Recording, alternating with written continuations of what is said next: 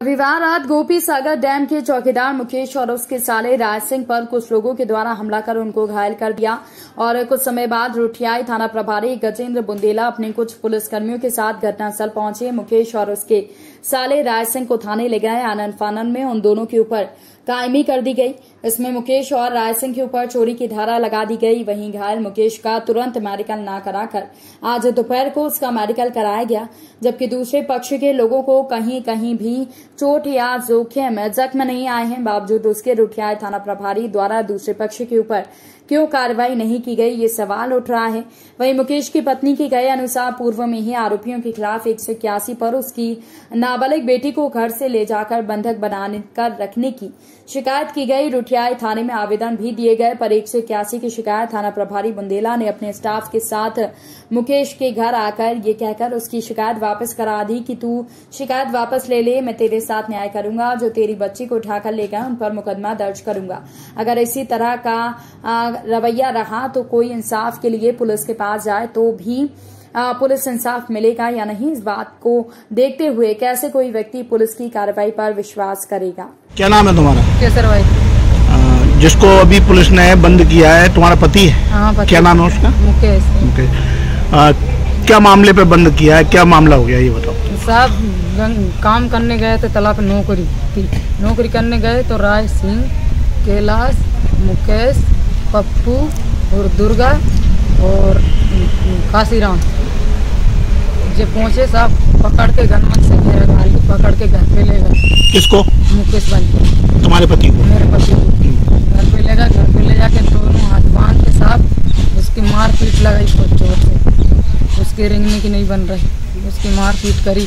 उसकी मेहताई गई थी साहब उसको घर में बूझ दी पूरी बैरबानी ने आदमी ने पकड़ के। तो उसको बच्चे से मुलाकात नहीं करनी। ये लड़ाई तो तुम्हारी काफ़ी दिन पहले से चल रही है। हाँ सर चल तुमने एक सौ इक्यासी पे कंप्लेंट भी करी थी। करी थी सर।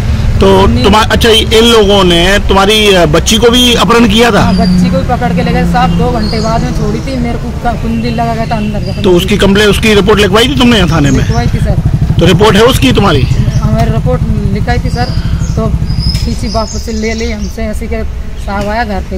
हाँ। घर पे साहब आया तो दारू कैन रख के लाया। हम्म, तो के वापस रिपोर्ट ले दारू को केस लगाऊँगा तुम्हें कौन बोला था ये? साहब बोला था कौन सा साहब? बुंदेला अच्छा बंदे ने हाँ। अच्छा। अभी तुमने एक सौ इक्यासी पे कंप्लेंट करी थी उसका क्या हुआ?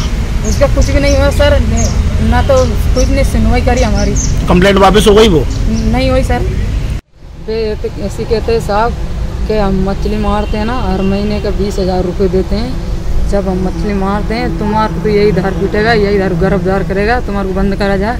तुम्हारी कोई सुनवाई नहीं है सुन हम तो खुले टेलते हैं पैसे लेते कौन कहता है?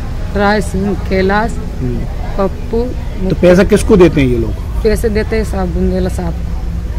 थाने में? हाँ हाँ थाने में देता है। ऐसे कहता है हम थाने में पैसे देते हैं। राय सिंह कितने कैलाश पैसे? हर महीने के हम बीस हज़ार रुपये देते हैं साहब को। अच्छा। हम तो खुले टेलते हैं। ऐसे बोलते हैं। तो इसकी शिकायत तुमने जो मत्स्य विभाग है वहाँ करी तुम चौकीदार हो जैसे।